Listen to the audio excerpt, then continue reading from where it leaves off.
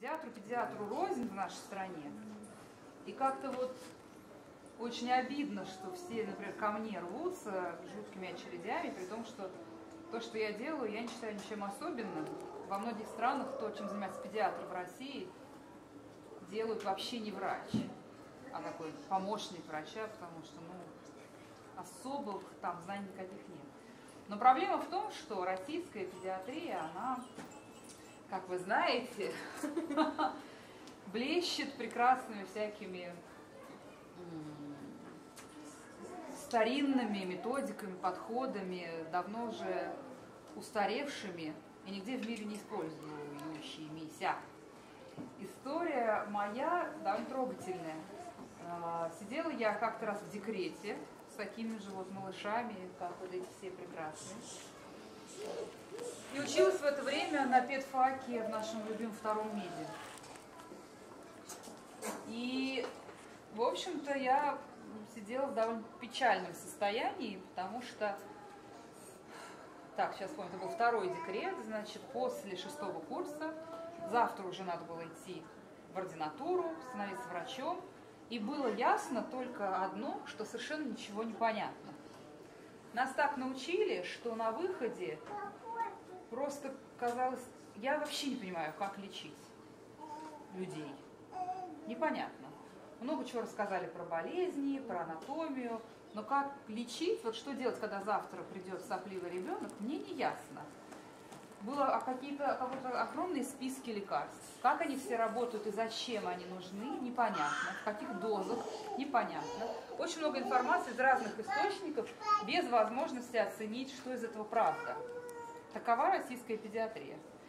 И я сидела в глубокой, в общем, печали, думая, что, ну, наверное, мне в этой дисциплине не место, потому что, наверное, это для каких-то просветленных людей, которые вот каким-то чутьем понимают, что вот э, биферон две недели по, по свечке два раза в день, а не три недели по три свечки. Вот какой-то у них третий глаз – которого у меня нет. Мне казалось, ну, не гожусь я для этой работы. Ну и как бы думала, куда бы себя пристроить вообще еще. А параллельно с этим рос у меня такой карапуз, такой скорее маленький человечек был. С, сейчас хочу, очень хочу встретить ваши понимающие кивки. Значит, был у меня младенец, который орал, пукал. Были зеленые какашки, которые пахли кисло пеной и слизью. Да? У груди ребенок орал, все время срыгивал. Казалось, что просто жизнь сейчас закончится на этом.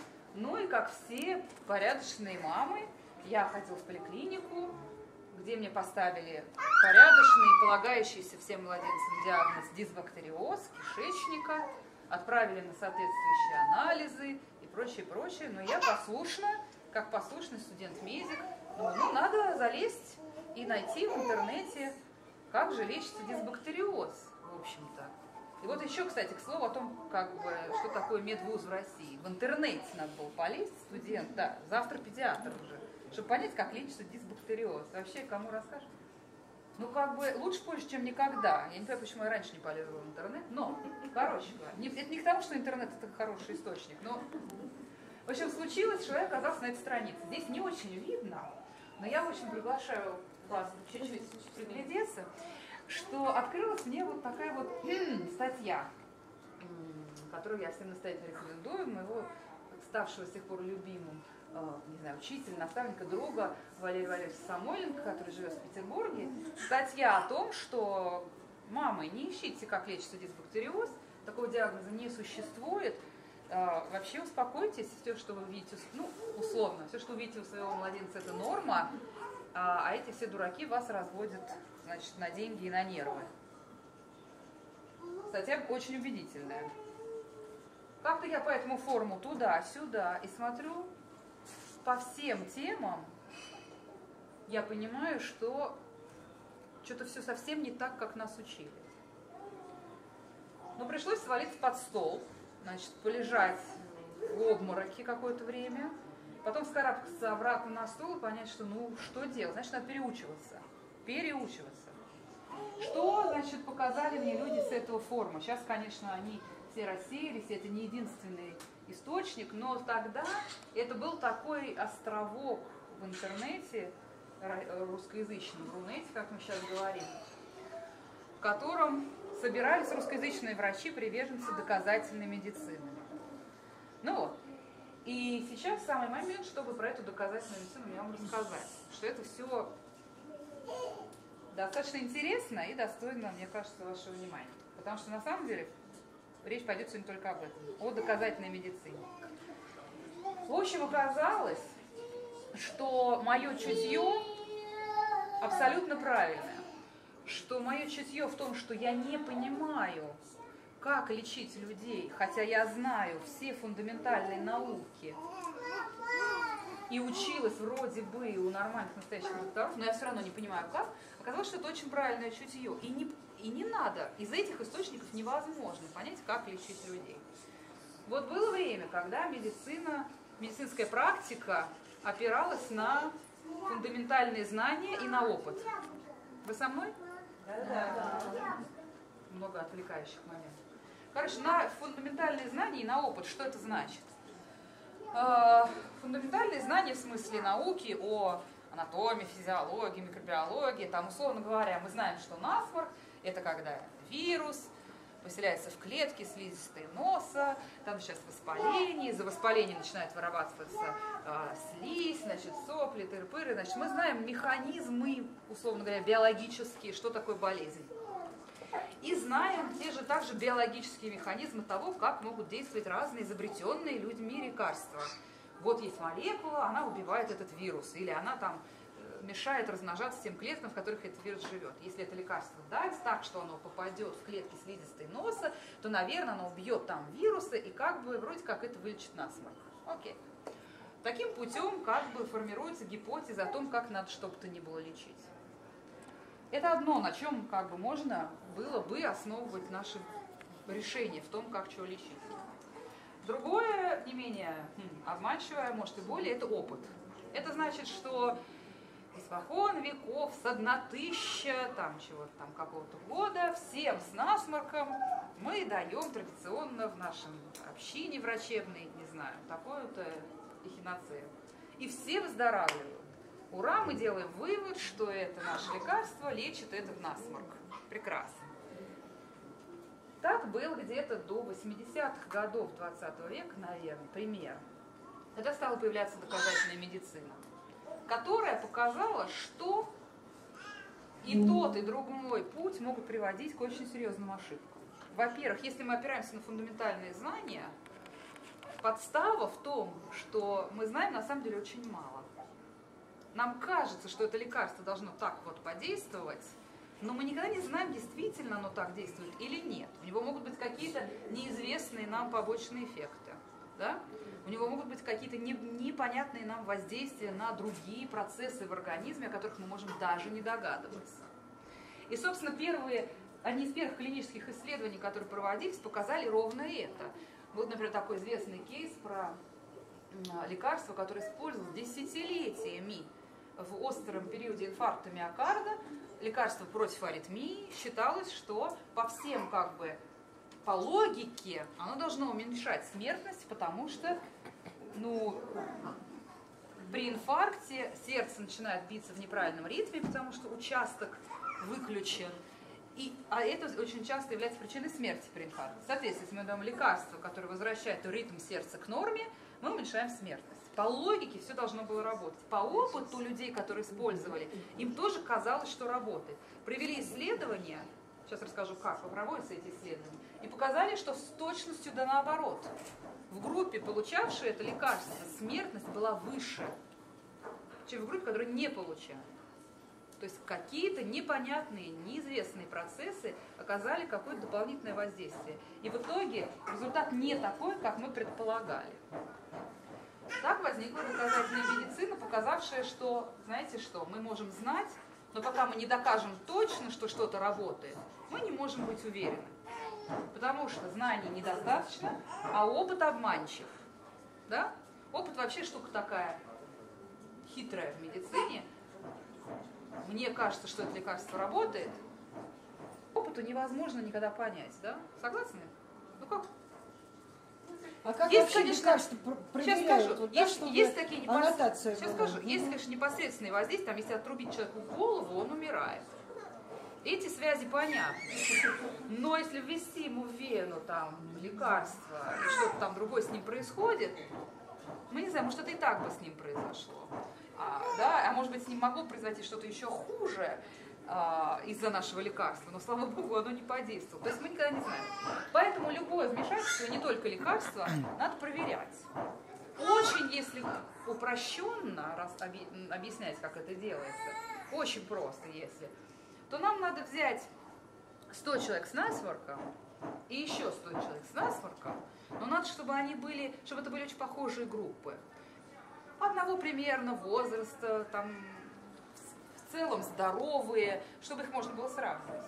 Потом нам надо в одной группе дать лекарство, вот это наше, которое мы испокон веков, с одна тысяча используем и хотим все-таки посмотреть, работает оно или нет. А другим надо дать тоже что-нибудь. Потому что если им не дать ничего, то будет разница в том, что у этих сработает эффект плацебо хотя бы. Знаете про плацебо? Значит, поэтому надо дать второй группе плацебо для того, чтобы уравнять действие. Допустим, человек, верящий, что его лечат, да, что-то с ним происходит. Среди из 100 человек 20% из-за того, что им кажется, что их лечат, будут чувствовать себя лучше. Но надо, чтобы эти 20% были и в той, и в другой группе. Правда? Значит, одним дается пустышка, а другому, другим дается лекарство. При этом важно, чтобы они не знали, что им дается, естественно. И важно, чтобы их врачам и тех, кто их лечит, не, они, чтобы они не, тоже не знали. Это называется двойной слепой метод. Этих людей надо перемешать. Надо, чтобы компьютер выбрал, кто из них получит что, чтобы не было никакой предвзятости, чтобы не было различий в группах, случайно привлеченных человеческим фактором. А потом надо, что, кстати, делать потом? Тоже вопрос. Вот что потом делать?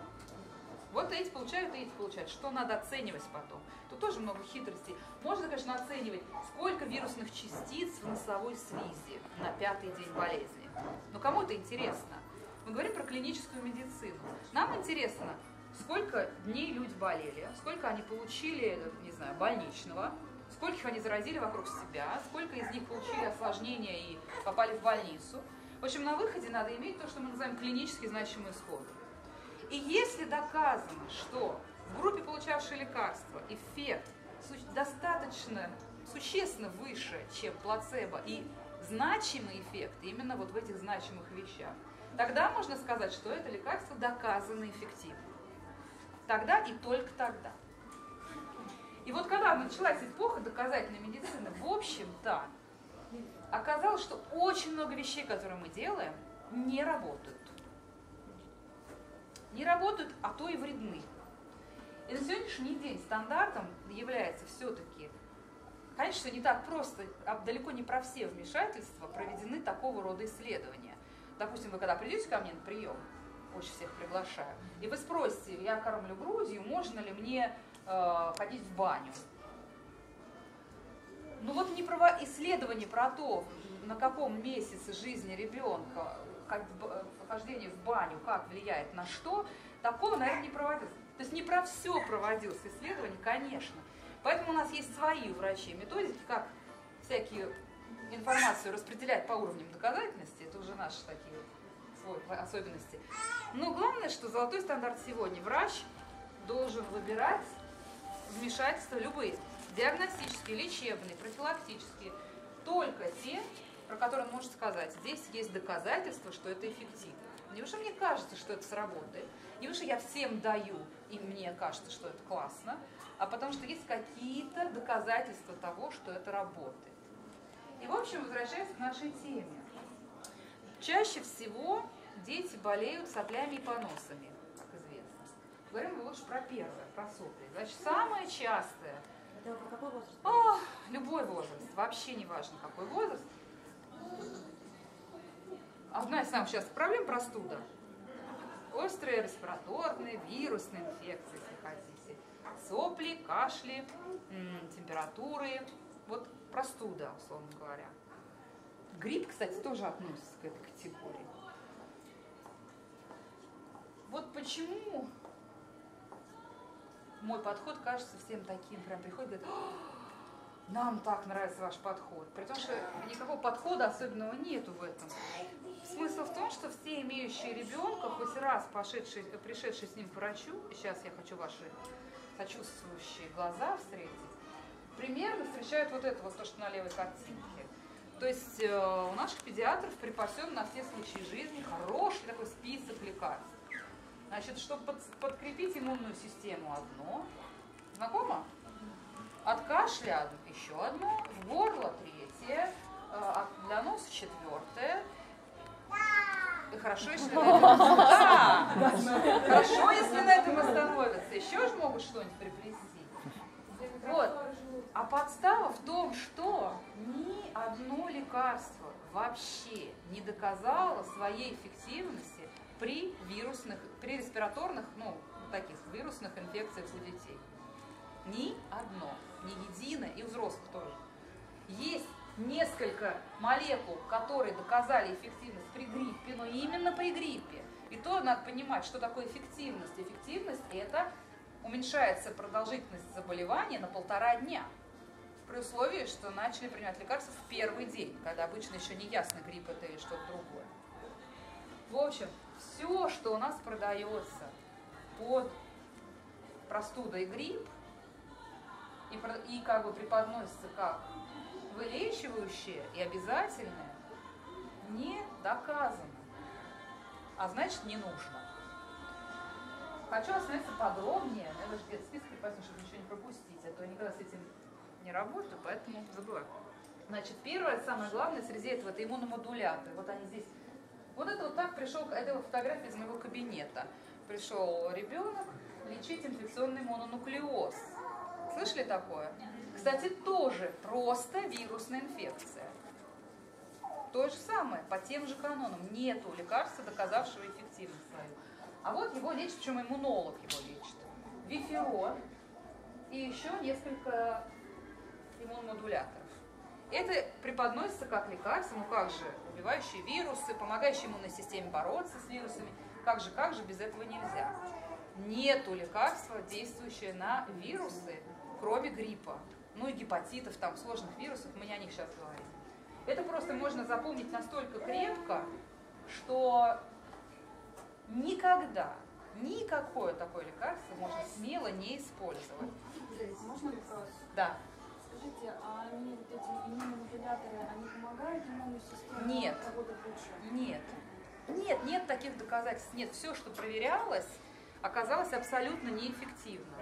А, а, а что-то просто даже и не проверялось. Но логика за этим стоит, в общем, с научных позиций не очень крепкая. Нет, они не помогают. Вообще иммунная система в порядке у большинства, да?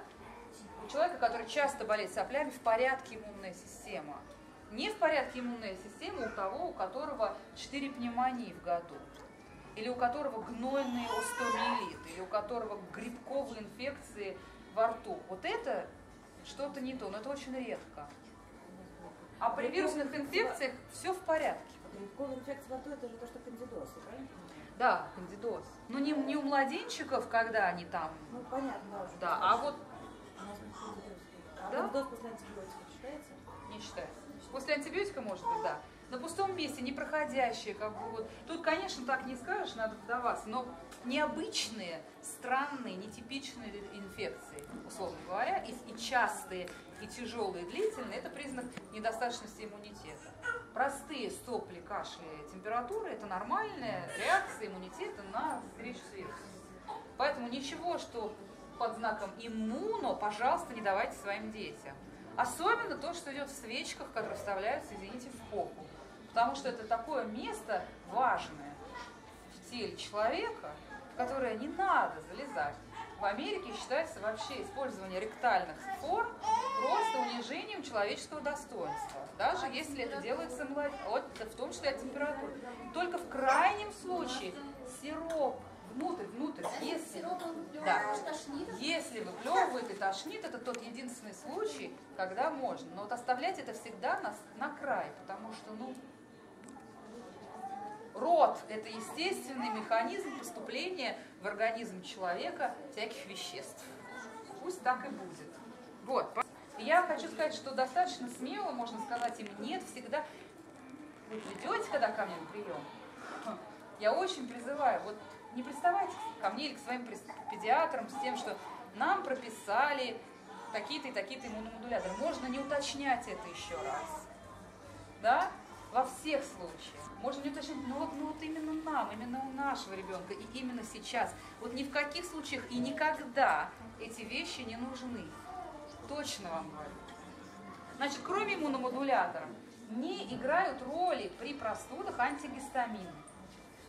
Фенистилы, супрастины, вот эти дела. Кроме единственной ситуации, когда вы хотите ребенка усыпить. Когда ребенок не может спать, и вы решаетесь на то, чтобы дать ему услов... ну, снотворное, если хотите. Самое безопасное снотворное для детей – супрастин. Или диметрол, если найдете. Но только для этого, да? Он не, они не уменьшают насморк, они не облегчают кашель, они не обладают каким-то непонятным мистическим воздействием на какие-то там механизмы воспаления, роли не играют. А если аллергический насморк? Поми... Кроме того, как, конечно, кроме ситуации, когда аллергический насморк, естественно. Речь о вирусных инфекциях. О, это отдельный разговор, да, да. Значит, э, про флору, для флоры, да? Ну да, тоже при вот этом всем При этом наборе, чтобы... Бифоформ. Да, бифиформ. Значит, эффективных пробиотиков, это, это пробиотики, есть они. Есть э, доказанные эффективные конкретные бактерии в конкретных количествах в определенных ситуациях. Но тех, которые доказали свою эффективность, их даже нет в продаже в России. То есть все, что продается в России под знаком био чего-то Ну, там, это другой разговор, чем смерть. Смерть делает совершенно конкретную вещь. И то, что значит помогает. Можно обойтись без нее. И она не пробиотик. И можно запросто обойтись без нее. Запросто. Это такая симптоматическая вещь, в том смысле, что, ну, когда у человека понос, он может немножко уменьшить понос. Но на самом деле без нее можно запросто прожить.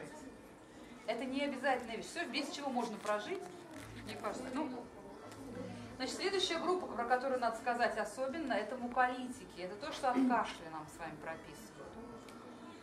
Мукалтин, амбраксол, лазолван, и аскарил и так далее. Лекарства, смысл которых они разжижают мокроту и помогают ей отходить.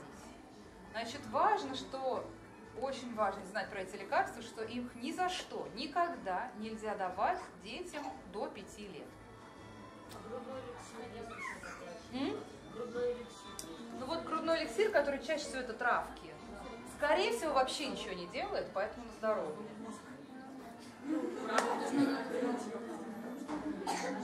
Вселенский опыт говорит. Да. Ну, скорее всего, нет. Если он что-то делает, то лучше не надо. Объясню. Те муколитики, которые действительно что-то делают, опасны детям до 5 лет, потому что они, разжижая мокроту, увеличивают ее объем. И таким образом можно спровоцировать, наоборот, а не предотвратить осложнения. Дети могут захлебываться мокротой, и вероятность пневмонии и воспаления легких у них увеличивается, а не наоборот. А если их назначают ингалятор? Тем более, если их назначают ингалятор. Как они же помогают. У нас у нас безостановочно, перепробовали. Они же действительно помогают. Да, они могут создать ощущение, что кашель быстрее переходит из сухого в мокрый, что называется, да? Но понимаете, мы с вами уже говорили про конечные точки, про клинически значимые исходы. Кому надо, чтобы сухой кашель быстрее перешел в мокрый? Кому это надо? Надо, чтобы у ребенка было меньше осложнений, чтобы он спал. Но вот муколитики, но вот муколитики не, не облегчают ночной сон. Что сделать так, чтобы он не захлебывался кашель. Дать ему ложку меда, увлажнить воздух, высморкать нос и дать много-много пить. А если не высморкать нос, если нос чистый, а гной внизу, его не отсморкать? Дать много пить. Вот это доказано в исследованиях, что питье достаточно разжижает мокроту настолько же, насколько делают муколитики. Но зато без опасности того, что ребенок захлебнется этой мокротой и получит себе пневмонию. Мы с моими коллегами, с единомышленниками, мы просто, это у нас просто кодовый знак. Так, Рашидовна, хватай, там ребенок с пневмонией, там, за два года. А что так? Муколитики. Это просто мы видим, и это доказано тоже. То есть вы можете быть уверены, что вы не вредите ребенку, если вы ему даете питье просто, но много действительно, а не что-то такое. Зато вы не рискуете тем, чтобы заслужить осложнения какие-то. Много это много, это 2-3 литра жидкости. М? На какой период? Да. Да, вот это, эта ситуация, вот это понятная мне ситуация, когда ребенок не хочет пить. Эта ситуация понятна. Если человек не пьет, а ему надо пить, а у него обезвоживание, тогда надо что-то делать. Но не муколитики ему надо давать, а его надо в больницу вести капельницу ставить. Арбуз, мороженое, пожалуйста, здоровье, конечно. Йогурт. Вот. Другое дело бронхорасширяющие препараты, то, что бронхолитики. Это лекарство от астмы, которое применяется при бронхиальной обструкции, про которую не планировала говорить, но скажу, что это совершенно конкретное, четкое состояние, при котором ребенок тяжело дышит с одышкой. И врач слышит две вещи, он должен услышать. Учащенное дыхание, он должен вам сказать, здесь есть одышка, он дышит чаще, чем ему положено. И свистящие хрипы. То есть мы слушаем, мы слышим Как на ложный выдохе. круг, да? Вот ложный круг. Ложный круп это немножко другое, там слышны хрипы на вдохе. При ложном крупе, поскольку вот здесь препятствие, стеноз гортани, то ребенок на вдохе делает такой звук, он кашляет, и это надо лечить, конечно. И вообще любую ситуацию, когда человек с трудом дышит, именно часто дышит, надо лечить. Это к этому не относится. Но если просто кашель, даже если он очень сильный, очень прям прям жуткие, муколитики не помогут здесь. Зато могут усложнить дело и, в общем, привести к осложнению. Питье много, пусть это будет жидкость в виде желе, мороженого, чего угодно, пусть будет сладкое, пусть будут соки, пусть это будет мороженое, это жидкость. Это прекрасно, потому что, особенно детям, которые не пьют, потому что это жидкость вкусная. Он ест ее, но вообще-то это жидкость, правда? Так что это очень хороший вариант. Нет, нет, то, что оно холодное, никаким образом ни на что не повлияет. Вообще холод здесь не играет особой роли. Холод играет роль в том случае, если, если вы будете запихивать ему мороженое, он говорит вам, не холодно, не надо, и вы будете продолжать запихивать, тогда это, скорее всего, сыграет роль какую-то. Но если ему нормально, то так, точно так же с переохлаждением и сквозняками. Надо сидеть и реально мерзнуть, так что прям чувствовать, я мерзну. Тогда это, скорее всего, как стресс может спровоцировать у меня вирусную инфекцию, там, вирус, который пролетает мимо, может. Но если я сижу на сквозняке, все мне говорят, ой, осторожно, простудишься, но мне нормально, значит, это для меня не стресс. Понимаете? Переохлаждение играет роль только в случае, если это стресс для организма. А человек всегда чувствует, стресс это для него или нет. Готовься? Гулять можно при любой температуре. У ребенка. Да. Сама по себе прогулка не вредит. Другое дело, что когда человеку 40, он не хочет гулять, и не надо его тащить, правда? А если у него 37-38, и невозможно его держать дома, а на улице прекрасная погода, то совершенно ему не навредит выйти при условии, что вы просто его периодически будете спрашивать, ты в порядке, что у вас там в обморок не свалился от того, что бегает другая. Да? То здесь включить то, что называется common sense, просто вот житейское какое-то такое, вполне можно. То есть прогулки не вредят. Купание не вредит тоже, ни при какой температуре, ни при какой... Кстати, при кашле, вот посидеть в теплой ванне часто да, срабатывает так же, как доза муколитика через ингалятор. А, ну вот, это про муколитики, так что осторожно с ними, а после пяти лет я всегда говорю, ну если до пяти нельзя, и никому от этого хуже не стало, вопрос, надо ли после пяти. И я лично даже взрослым, ну, я сама никогда не принимаю такие вещи. Никогда. А передуал? Бердуал это другая история. Это вот то, что был вопрос отсюда, это бронхорасширяющее. Еще раз. Эти лекарства только по назначению врача, если звучит слово обструкция. Только в этом случае. Обструкция. Это когда бронхи, вы представляете себе, да, наши легкие, бронхиальное дерево, вот самые конечные веточки, маленькие, они в ответ на вирус, как у астматика, могут сжиматься. От этого тяжело дышать вот эти веточки, через узкие трубочки, это тяжелее. Из-за этого дыхание с усилиями, более частое. То есть должна быть обязательно одышка, чтобы такой диагноз поставить. И свисты, когда мы слышим воздух, проходящий по тоненьким трубочкам. Тогда это надо, конечно, лечить. Но если кашель, ой, надо бы поделать бердуал, если просто кашель, обструкции нет, надо бы поделать бердуал, это уже по инерции, значит, они так любят всем его назначать, не надо. Это нужно, ну правда, одному из, наверное, 20 детей с кашлем, не больше. Слово обструкция должно быть. Но опять же, муколитики при обструкции тоже не, не играют роли. Муколитики это вообще лекарство, придуманное для, например, муковисцидоза. Тяжелейшая, неизлечимая болезнь, приводящая к преждевременной смерти, при которой слизь, все, все секреты, ну как бы все слизи, которые вырабатываются в организме, вырабатываются слишком густые. И из-за этого закупоривают постоянные пневмонии. Вот им нужны муколиски, им нужно разжижать эту слишком густую мокроту, потому что они иначе просто умрут очень. Но это совершенно не наша с вами история. А физраствор в ингаляторе? Физраствор в ингаляторе можно. Доказательств того, что это лучше, чем плацебо, тоже нет. А, вреда, скорее всего, тоже. Ну, то есть доказательств вреда тоже нет. Скорее всего, это работает как увлажнение, то есть э, равносильно питью и воздуху, увлажненному просто. Я всегда говорю так, если вам ребенку нравится сидеть и делать ингаляцию, а у вас возникает чувство, что что-то сделано, и тоже ощущение есть, что легче, на здоровье.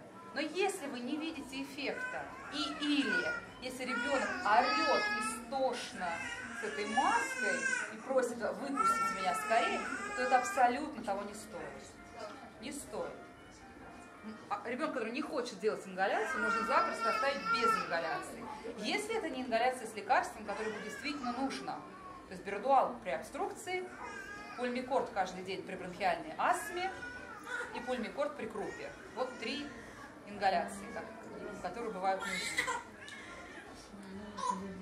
Как-то так, да. Если тяжело ночью спать, то можно так и быть, разрешаю. Можно использовать, э, есть капли, сосудосуживающие, просто уменьшающие отек, уменьшающие заложенность носа. Аквамарис – это соленая вода, которая помогает соплям выходить, помогает сморкаться тем, кому трудно сморкаться. На здоровье. Ради Бога. Скорее нет. Может вызвать аллергию, может вызвать спазм бронхов. И все, что пахучее, может потенциально вызвать у детей очень реактивные дыхательные пути, может вызвать. А польза очень сомнительная, вернее, скорее всего, ее нет пользы никакой. То есть увлажнить, все, что увлажняет, хорошо. Но опять же, нет доказательств того, что если не брызгать в нос аквамарис, то человек не выздоровеет от насморка. Все равно выздоровеет. Ура, молодцом. И опять же, аквамарис тоже надо понимать, зачем это дело. Это для того, чтобы густая сопля легче отсморкалась. А если она не густая? Если она не густая, смысла нет. Или если она густая, но человек умеет сморкаться, и у него получается сморкаться, то тоже это не обязательно, да? Сморкаемся и на здоровье. Люди, которые страдают излишней сухостью носа, кстати говоря, взрослые, и используют вещи типа аквамарис просто ежедневно, потому что у них очень сухой, сухой нос, они отдыхают, когда у них насморк, потому что можно куча слизи вырабатывается, хоть какое-то время слизистая не сухая, а мокрая. Вот. Отсасывать сопли нет необходимости. Они никуда не денутся, они не перелезут в мозг, они не перелезут в уши. Ничего с ними не... И они не спустятся вниз, что самое главное. Вообще сопли... А если тогда... Вот это не связанные вещи. Вот, к сожалению, пока что мы не знаем, что можно сделать, чтобы не случилось гайморита. Вот он либо случится, либо нет. Вот так же, как, кстати, с бронхитами, пневмониями, вот будет или не будет. Как повлиять на это мы никак не можем. Но вот когда мы со стервенением отсасываем сопли, так что как будто бы уже прям мозги высасываем, нам кажется, что мы таким образом уменьшаем вероятность этих осложнений, но на самом деле нет. Когда кукушку делают, уже говорите, это же отсасывает, это Да, Это тоже не надо делать? отсасывать вообще необходимости нет. Можно это делать? Можно, опять же, я говорю, можно. Если очень тудут дышать и сосать невозможно, да, ребенку плохо, можно убрать немножко, но столько, столько, сколько нужно, чтобы он вновь задышал, хоть как-то. Вот ребенок, который у маминой груди хлюпает носом, как паровоз, у него так пузыри, пузырятся сопли, не надо ему ничего отсасывать, он нормально, он справляется. Нас раздражает звук, вот этот. Но он справляется, он сосет, и слава богу, и не надо. Не, Постарше надо учить сморкаться. С трех лет дети уже умеют сморкаться обычно. И тоже надо учить сморкаться как можно больше. И чем меньше мы будем отсасывать, тем больше будет хотеться высморкаться. Хорошо, а вот эти, например, э, всякие аэрозоли, спрей, которые на натуральной основе, типа морская вода. Ну Вот морская вода, она просто увлажняет. Ради бога, морская вода можно. И можно сосудосуживающие капли, чтобы просто, если очень тяжело. Ну вот вы вспомните, да, в себя вспоминайте с насморком. Бывает это там один этот день первый, когда или все время чихаешь, и просто сил нет, глаза красные, прям вообще, вообще. Можно себе помочь, но важно понимать, что эти називин, ксимилин, вот эти вещи, от них ребенок быстрее не выздоровеет. Но он облегчает, облегчает. Да, да, да. Он не э, уменьшит вероятность осложнений. Он облегчит на несколько часов носовое дыхание на здоровье. Вот, горло. Перейдем к горлу. А вы расскажете, чем лечить ОРВИ? Чем не лечить? Чем лечить? поняли. Пример. Сейчас я сама простите, скажу. Я сейчас закончу еще. Значит, это были муколитики, чего не надо. И последнее про то, как бы, что не надо, но тут надо с оговорками, это, конечно, антибиотики. Да? Значит, про антибиотики хочу сказать. Слава богу, я чувствую, что мы уже здесь в России поняли, что не ви- вирусы не лечатся антибиотиками. Это я уже чувствую, что как все поняли. Но все-таки надо еще немножко довести до конца эту историю. Вот это хорошая таблица, которую ВОЗ выпустили и распространяли. Был такой день, день что ли, борьбы с, с излишним выписыванием антибиотиков, какая-то была такая акция. Чтобы еще раз напомнить, что антибиотики при любых вирусных инфекциях, написано простуда, насморк, никогда не нужны. Сопли зеленые, белые, две недели, три недели, четыре недели, вонючие. Антибиотики не нужны. Никогда на насморк. Другое дело, если боль в лице, КТ, гайморит, другой разговор. Но это у детей почти не бывает. У детей А очень редко. Нет. При вирусных инфекциях, вообще при инфекциях не играет роли полидекс никакой. Лекарства, в общем, от аллергического ринитиса. А биопорог? М? Биопорог. Никогда. Значит, бронхит. Часто слышу, ну раз бронхит, тогда антибиотики. Нет, бронхит это тоже разновидность ОРВИ. Да? Как любой ОРВИ, конечно. Любой ОРВИ – вирусная инфекция. Мы кашляем с частицами вируса переносим. Whooping cough – это коклюш, коклюш. Да, это лечится антибиотиками. Но это лечится антибиотиками не для того, чтобы вылечить человека, он будет кашлять свои 6 недель все равно, а чтобы уменьшить распространение бактерий в э, популяции. Неприятное слово. Грипп – нет. Грипп не лечится антибиотиками. Дальше важная строчка, смотрите. Это перекликается с вашим вопросом про эм, горло, про полоскание горла. Strep throat – это стрептококковая ангина. Значит, часто вы будете слышать, я слышу себя на приеме, посмотрели в горло, там что-то белое, значит ангина, значит нужны антибиотики. Значит, во-первых, в горле у человека могут быть белые вещи. Это надо понимать, в том числе у здорового. Это называется пробки миндально. Они никакого отношения к острой инфекции, к ангине не имеют. Это просто пробки в миндальных. Это вообще вопрос гигиенический, а не медицинский. К слову о хроническом танзелите, которого тоже не существует. Леты, беловатые, всякого ро- рода на миндальных в горле могут быть при вирусных инфекциях. Могут. То, что там что-то есть, еще не значит, что это бактериальная инфекция, которую надо лечить. Единственная бактериальная инфекция в горле, которую надо лечить антибиотиками, это та, которая вызвана, внимание, бета-гемолитическим стрептококком группы А. БГСА. И только им. Только бета, только гемолитическим, только стрептококком, только группы А. Единственный способ установить это мазок, да? И единственный стоп, да, абсолютно верно. Мазок, либо, а лучше и то, и то, стрэп-тест, то, что называется, быстрый анализ, который надо понимать, что он достаточно специфичный, но недостаточно чувствительный. Что это значит? Если он положительный, скорее всего, ангина есть. Если он отрицательный, не факт, что ее нет. Вот так. То есть, если э, педиатр э, ставит диагноз ангина, то э, просто на основании осмотра горла, то я имею право, чтобы он взял э, Да. анализ. Да. Насчет прав разговор совершенно отдельный. Э, Но вы, вы совершенно точно можете отложить прием антибиотика до того, как сходите и сдадите по анализу. Мазок. А платные вот эти вот, которые... Платные, здоровье, да. Приходишь сразу... С этой стрептококковой историей проблема вот в чем.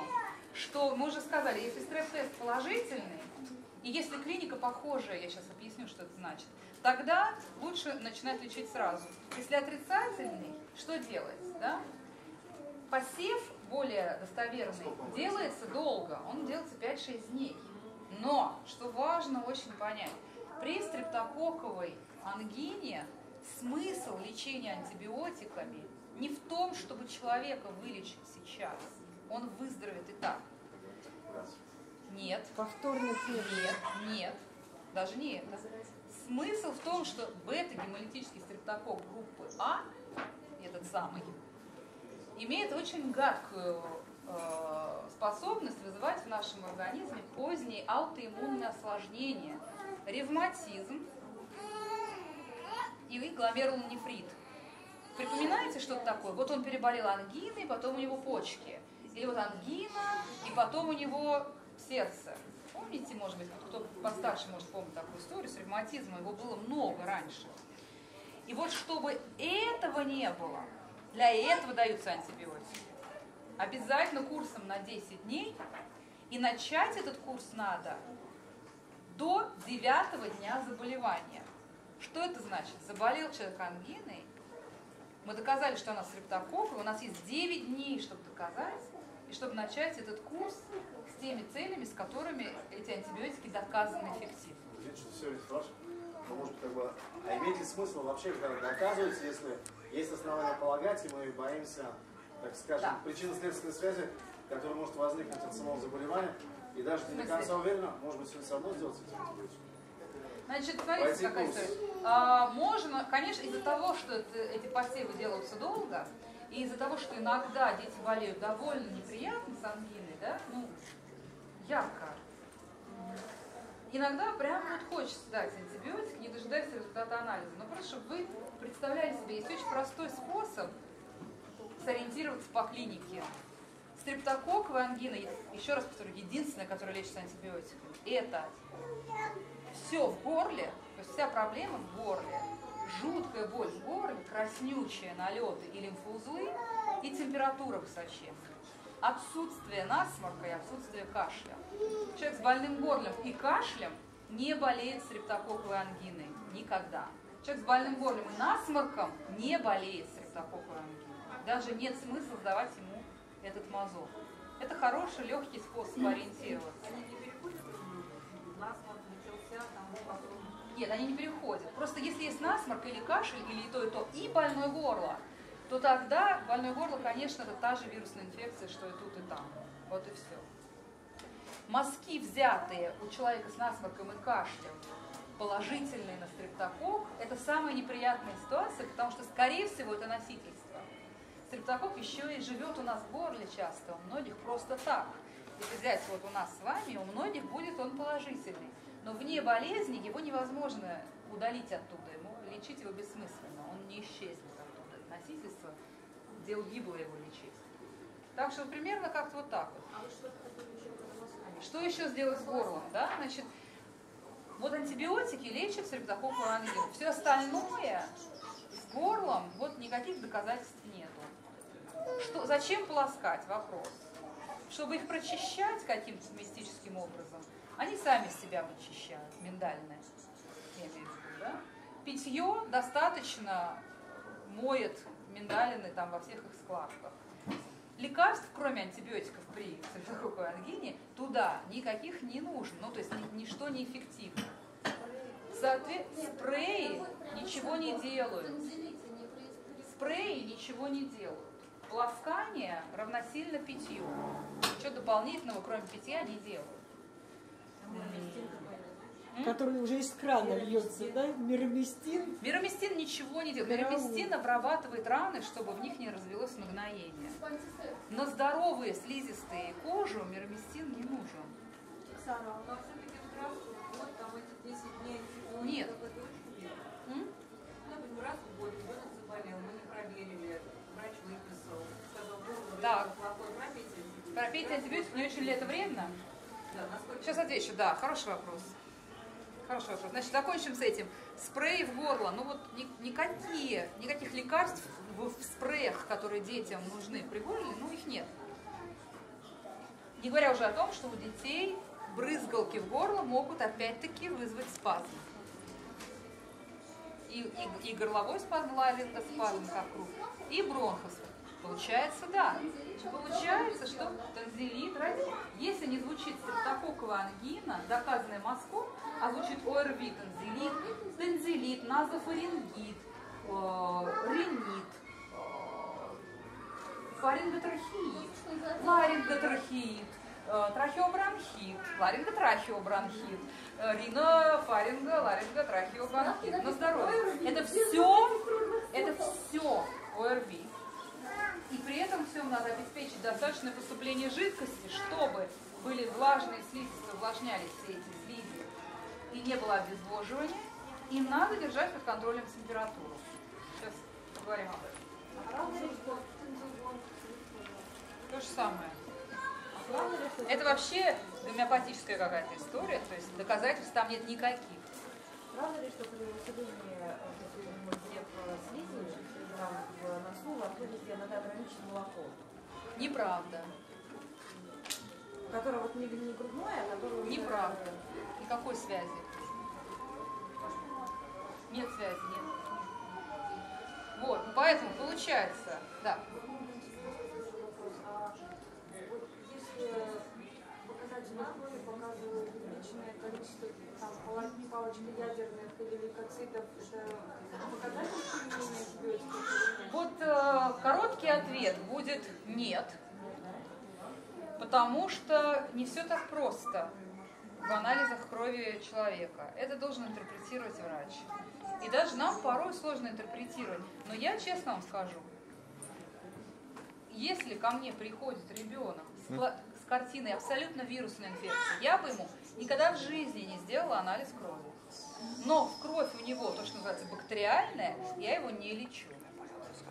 Потому что я тогда эту бактериальную кровь воспринимаю как случайную находку. Мы сейчас об этом поговорили в следующей части. Ну, потому что бывает кровь бактериальная при вирусных инфекциях. Бывает. Поэтому нельзя рассматривать кровь, анализ крови в отрыве от клиники, что называется, от симптомов. Точно так же, если есть явные признаки бактериальной инфекции, а кровь, что, как мы называем, спокойная, будут случаи, когда мы все равно дадим антибиотик. То есть клиника все равно важнее. Анализ крови это только в помощь. И иногда его бывает сложно интерпретировать. Поэтому я бы сказала осторожнее с анализами. Да! Эриспал, прописывают часто эриспал сейчас. Это вообще это когда Это против никто не знает, что такое респал. Это Да. французский препарат, который описано, что в нем сразу, не знаю, пять, пять параллельно действий. Он, такая эмпатия пошла. Он сразу и муколитик, и противовоспалительный, и все на свете. Доказательств эффективности респала нету. Так что респал тоже в помойку. Жарковато становится, да? Надо попросить, но он когда включится, он включится довольно обретительно. Детям будет неприятно. А мы поставим, посмотрим. Ладно. А, как, будет ли вред от того, что лишний раз пропили антибиотики? Если болезнь, если Ну, допустим, раз в год. Да. Но раз в год пить антибиотики это много для здорового ребенка. Ну, для- это много для ребенка здорового, я имею в виду без хронического заболевания, без проблем с иммунитетом. Это много. Раз в год антибиотики это много. Скажем, да, даже так, в западной стране, если бы вы пришли и сказали, у нас раз в год ребенок принимает антибиотики, они сказали, ой, ой, а чем же он таким болеет? Вот. Но, а еще раз, я хочу сказать, что вот какой вред от слишком часто, вот этот вопрос сложноватый, потому что, ну, скорее всего, на уровне а, единичного вот организма вашего конкретного ребенка, скорее всего, вреда особого тоже нету. Мы не знаем. Есть побочные эффекты, если они не проявились сразу, слава богу, но могут быть отдаленные побочные эффекты, о которых мы не знаем. Нет, просто возвращаясь к разговору о доказательной медицине, мы же не знаем. Мы же не знаем, на самом деле. Не знаю, через 10 лет могут доказать, что все дети, принимавшие амоксициллин, не знаю, когда вырастают, то становятся, не знаю, криптоманами. Не знаю.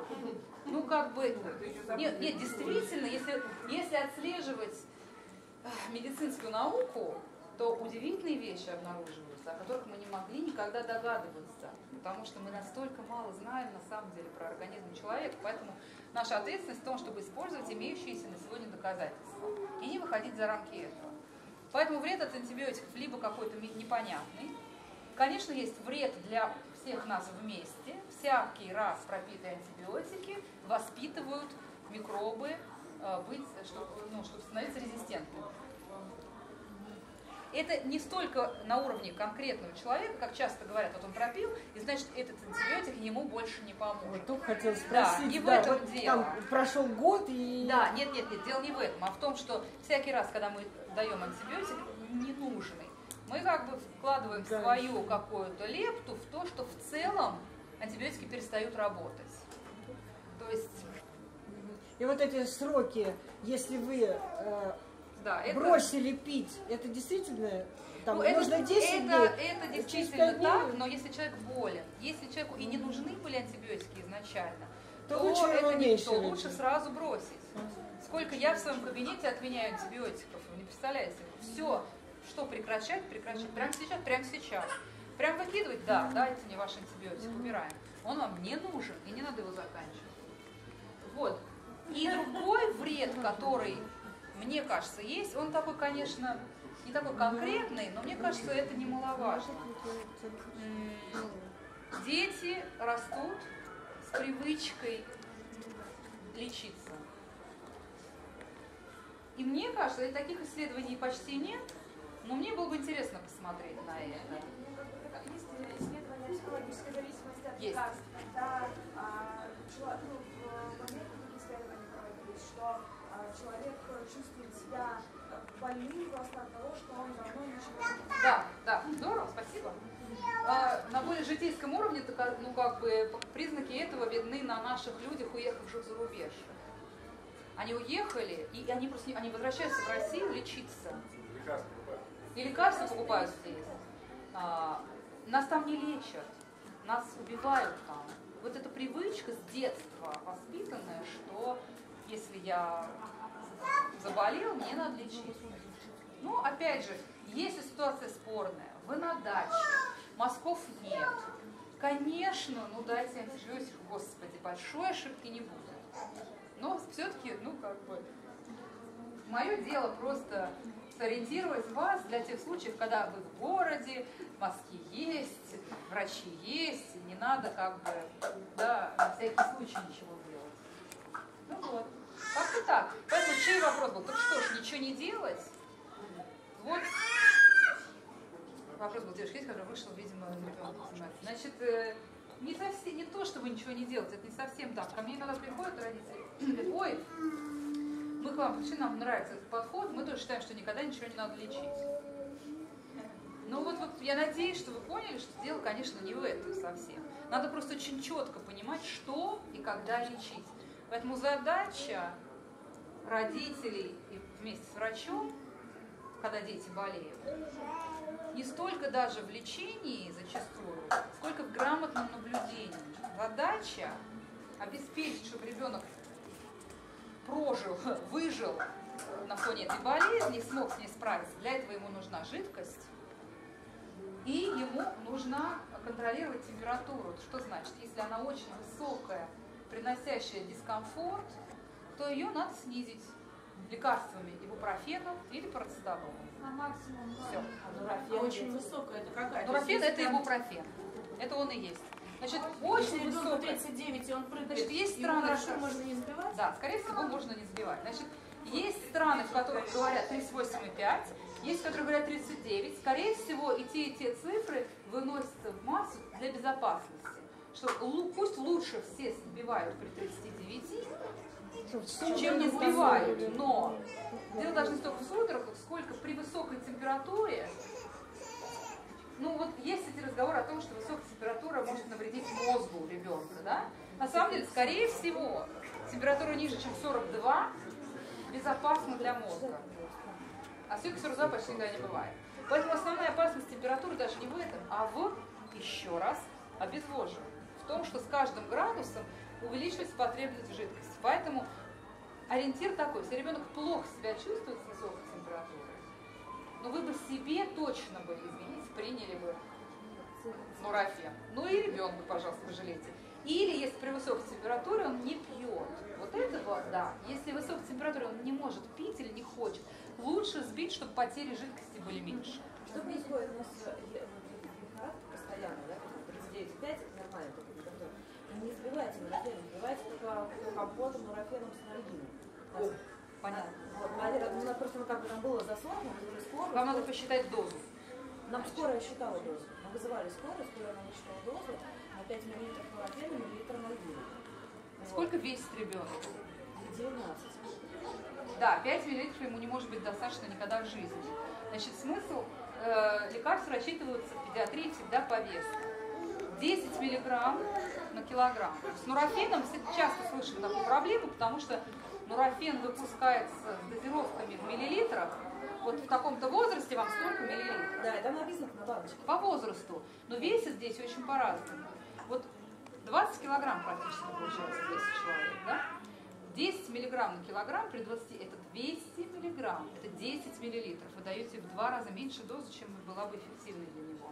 И это частая ошибка, потому что ну, вот нурофен так выпускается зачем-то. Парацетамолом обычно можно верить. Панадолы, фералганы, колполы, они выпускаются с мерными ложками по весу как раз. Если видели, там не миллилитры отмеряются, а уже прям вес ребенка. А вот нурофен с ним такая подстава. Поэтому да, часто слышу такую историю. Можно делать такой компот? Или лучше не? Лучше нет, потому что анальгин нехорошее лекарство. У него есть, бывают побочные эффекты опасные. Во- В большинстве стран он вообще запрещенный этот препарат. А у нас до сих пор на скорой А у нас до сих пор на скорой при любом удобном случае, да. Поэтому, отвечая на ваш вопрос, если 39 носится рак и пьет, ради бога, не сбивайте. Это на здоровье. Разденьте. А Раздеть обтирание? а? Раздеть можно, несмотря на бабушку, что Раздеть. наличия обязательно. Когда высокая температура, обязательно раздеть.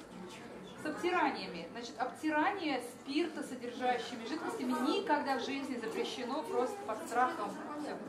Водой обтирание снимают температуру быстро, но ненадолго. И чаще всего это ребенку очень неприятно. Разгоряченное тело. Неприятно. Поэтому, если надо правда, лучше дать лекарство безопасно. Это сироп. Если он его сплевывает и срыгивает, можно его по чуть-чуть, за щеку, по чуть-чуть, запивая большим количеством воды. Большинству можно дать сироп. И это безопаснее, чем все остальное. Делать что-то неприятное человеку, правда, когда он болеет, вряд ли полезно. Скажем так. Да. что если слышала такую версию, что если у ребенка температура даже, если он с температурой уже 37-38 градусов, у него бактериальная инфекция. А если вот он шустрый бегает даже при 39, значит это вирусная. А, Это очень упрощенная, очень упрощенная история. А, На самом деле, если ребенок называем, токсичен, то есть при, при не очень высокой температуре неадекватно как болен как будто, это признак тяжелого заболевания, не обязательно бактериальная инфекция, но в принципе, что что-то не так. И вот это, кстати, это здорово, что вы вспомнили об этом. Это один из тех случаев, когда надо не, не лечить там обязательно, а вести человека к врачу. Вот грамотное родительское поведение – это питье, сбивать температуру и наблюдать, знать, в каких случаях надо обязательно вести к врачу. И это один из тех случаев. Если самочувствие неадекватно симптомам, обязательно. Если есть затрудненное дыхание, одышка, ощущение, что человек тяжело дышит, обязательно. Если есть температура и любая сыпь, обязательно. И если ребенок не пьет, обязательно. Вот это, пожалуй, вот примерно очерчивает те ситуации, где надо ехать и потенциально лечиться. Но это лечение может заключаться, опять же, не в муколитиках, антибиотиках, а в том, что надо лечь в больницу, капать жидкость и кислород в маске. Кстати, самые, одни из самых тяжелых заболеваний лечатся только вот. А, мы же, кстати, в наше время про... Да? А третья ситуация, когда антибиотик нужен? Последняя строчка. Это что? А, Это инфекция мочевыводящих путей. Редкая, на самом деле, история, обязательно должна быть доказана посевом. Значит, я чувствую, что по программе здесь что-то дальше происходит в 9 часов, да? 9.20. 9.20. Значит, у меня есть немножко времени, я хочу продолжить. Да.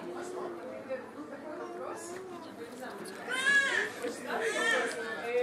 Не все могут приехать к вам в жилье. Не Да. все могут найти врача, который, как вы, думает, Нажимай как раз районную поликлинику. По штативу я спрошу, забегу еще. По штативу я еще забегу. Ну, там парень должен быть. Э, Степа. В рыжей, по-моему, футболке с мне К сожалению, вы, я поняла вас, да. К сожалению, вы ничего не сделаете. Я, мне очень жаль, что у меня нет совета на такие случаи. Вот нас, нас таких, какое-то количество есть в Москве, но, конечно, немного. Вот мне очень жалко, правда. Могу только сказать, что есть вот эти два сайта, где мои единомышленники днюют и ночуют, чтобы отвечать на вопросы. Конечно, консультирование в интернете это дело жутко неблагодарное. Конечно, при прочих равных лучше не надо. Но если другого выхода нет, вы показали ребенка врачу в поликлинике, вы не можете показаться кому-то еще, вы сомневаетесь, вы мучаетесь сомнениями, сходите на, в одно из этих двух мест. Там, во-первых, будет много часто, ну, ответов на часто задаваемые вопросы, во-вторых, есть возможность проконсультироваться. Конечно, это суррогат, но хоть как-то. Но вопрос ваш очень понятный.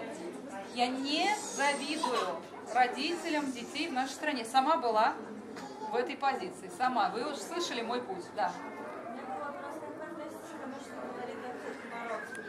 Во многих вещах вы, как бы, я слышу то же самое, что он Да, да, да, да. Ну, вот вопрос, как бы, ваш, Да. его слушать, у него достаточно много информации, доверяете ли вы ему? Достаточно я хорошо к нему отношусь. Мне кажется, он очень хороший популяризатор вот, доказательной медицины. Иногда он позволяет себе вольности, я бы так сказала. То есть он может как крепкую рекомендацию дать что-то недоказанное. Я, наверное, тоже этим страдаю, но я стараюсь, не знаю, получается, слышно это или нет, но я стараюсь говорить, это может, это могло бы, скорее всего, там, где не доказано. Он вот может иногда сказать, вот надо только так, четко, хотя за этим не стоит доказательств никаких. Вот. Значит, осталось 5 минут на одну тему, 5 минут на другую. Я это сделаю. Значит, еще тему, которую я пробегу очень-очень быстро, вот с таким тоже смешным названием. Случайные находки. Что мы ищем на рутинных осмотрах и анализах? Когда я говорю рутинные, я имею в виду знакомая вещь? Нет? Ага, вот маленькие дети еще. Это форма 026У. Такая карта диспансеризации для детского сада или школы. А вы уже начать должны? Мне сказали вот- в 20 минут. 21, 21, 20? Да. Ой, извините, пожалуйста. У меня 5 минут. Всё, я. Значит, Я виноват.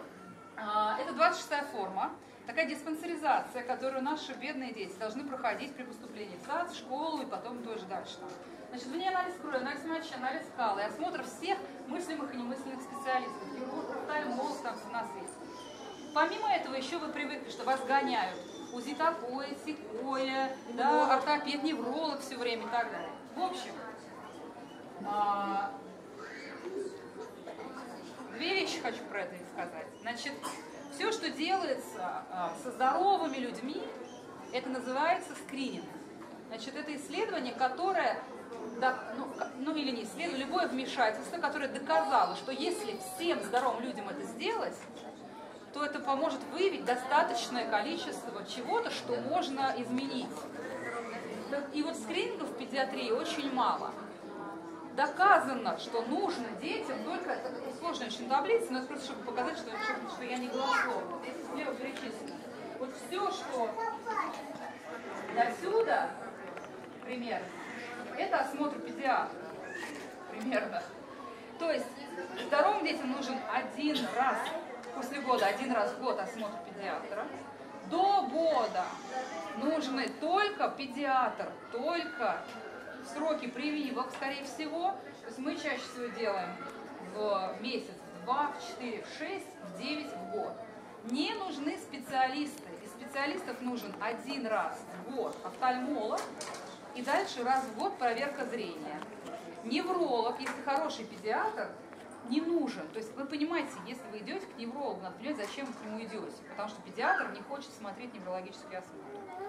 Но в принципе это все не нужно. Большинство диагнозов, с которыми возвращаются от невролога, это несуществующие диагнозы, или диагнозы, которые надо лишь бы что-то поставить. Внутричерепное Внутричерепное давление, ПЭП, ЦНС, гипертонус э, и так далее, и так далее. Просто в тему про неврологов. Я сегодня тоже была у невролога, первый осмотр, и как раз сказали про гипертонус. Да, да, и да. что вот поскольку массажист один в остался, делайте ей массаж сами, вот там Понятно. упражнение Да, один. да, да. А я как-то сама себе не доверяю, я же не врач. Большинству детей массаж не нужен. Если сказали, что можете сделать сами, скорее всего, с ребенком все в порядке. Если он нормально развивается, у него нет явных перекосов, да, каких-то кривых там конечностей, судорог и так далее, если у него симметрично с обеих сторон вот так вот сжаты кулачки, это в месячном возрасте нормально. Ну, в общем, одно единственное УЗИ доказано нужно, это тазобедренные суставы в младенчестве. Все. УЗИ мозгов не нужно никому, потому что не доказано, что в мозгах нет. Да. Значит, вред от того, чтобы делать много исследований, это случайные находки. Просто хочу сказать, это очень неприятная вещь. Это когда сделали исследование просто так и нашли там киста, какая-то не такого размера щель, э, белок в моче, лейкоцит в моче, какие-нибудь не все клетки, где не- нейтрофилов мало, много.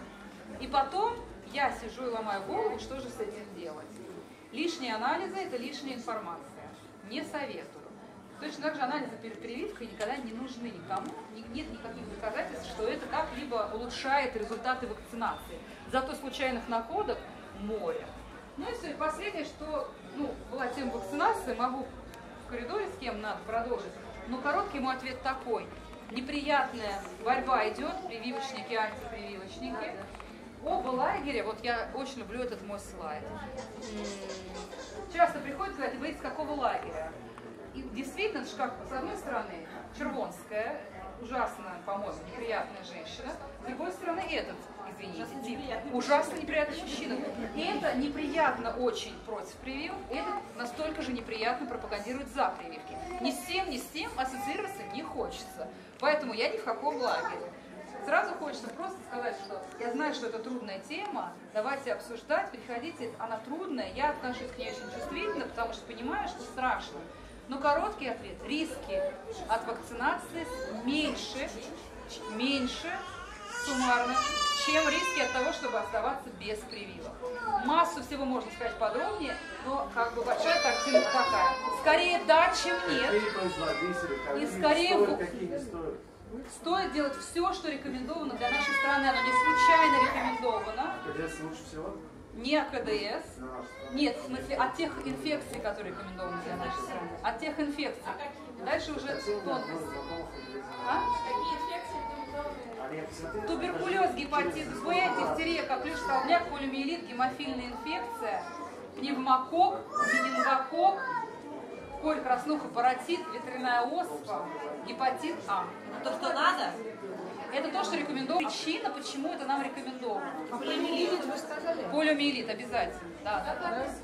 А вот живой вакцины делают, это же ужас. Ее надо делать сначала инактивированный, потом живой. Это уже тонкости, да. А краснуха для девочек, она опасна. Значит, краснуха делается всем девочкам и мальчикам для того, чтобы краснухи в принципе было меньше, чтобы не заразить беременную женщину, чтобы у нее не родился ребенок с жуткими уродствами, что это будет разрушенная жизнь. Ну, а такой смысл не делать в детстве, наоборот, заразиться где-нибудь, если поймать ее. Вы понимаете, если поймать ее и заразиться, то она заразит других вокруг себя. Это распространение, да? Это одна из важных задач вакцинации. Уменьшить распространение инфекций, которые мы уже не помним, но когда-то были фатальны. Спасибо. Надо делать вовремя. Безопаснее делать тогда, когда это делается. Безопа- ну, Он, не, он не станет сильнее. Он рождается, вот он, он уже сильный, у него иммунитет уже работает. Иначе у него был бы сейчас просто, он бы, я не хочу говорить, что, что вас не, не пугать, то ему тем более нужны месяца находился на сильнейших э, антибиотиках. Да, да, да. То ему тем более, то ему тем более нужны прививки, потому что если он заболеет, например, коклюшем, то он тяжелее его перенесет. Если у ребенка ДЦП, неврологическая болезнь, ему тем более нужны прививки, потому что если у него будет лихорадка, у него будут судороги. Они ошибаются. Они ошибаются. Надо делать прививки вовремя. Если делать прививки позже, то, во-первых, дети начинают болеть простудами, их невозможно привить, а во-вторых, они становятся уже большими, и они понимают, что мы им делаем больно, и это превращается в катастрофу. Маленьких привили, они три секунды поплакали, успокоились, и все. После года, когда прививаем, это мука. Мы понимаем, что мы просто, ну, мы делаем детям больно, и это очень неприятно. Побочных эффектов не так много, как их малюют. Давайте об этом говорить отдельно, нам надо заканчивать. Спасибо за внимание!